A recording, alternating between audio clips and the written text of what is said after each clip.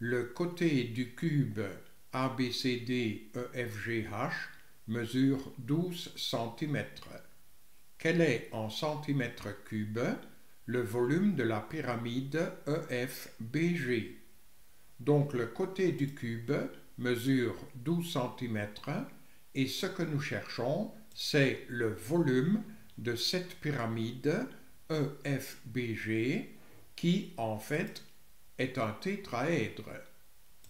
Le volume de ce tétraèdre que nous cherchons, c'est un tiers du volume de ce prisme en magenta. Regardons bien.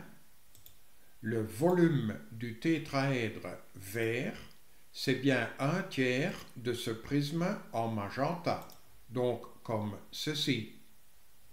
Et le volume de ce prisme, c'est la moitié du volume du cube.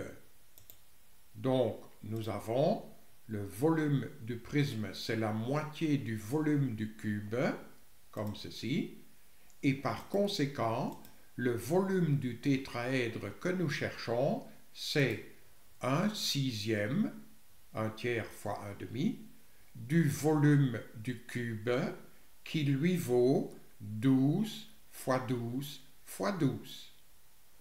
12 exposant 3 nous l'écrivons comme ceci. Ainsi, nous pouvons là simplifier tout de suite par 6, il reste 2, et le carré de 12, c'est 144. Donc, nous obtenons comme volume de la pyramide demandée 288, et par conséquent, le E est la bonne réponse. Lors du tutoriel suivant, nous allons répondre à une autre question de l'Olympiade mathématique.